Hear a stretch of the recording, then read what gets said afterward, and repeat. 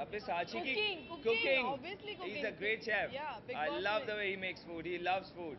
और सबको खिलाना भी बहुत पसंद है सभ्या को सभ्य साची और शिल्पा की वजह से ही शायद बिग बॉस में हमने इतना अच्छा खाना खाया है सो लेट्स सी अंदर क्या होने वाला है so will see you afterwards see लेरा.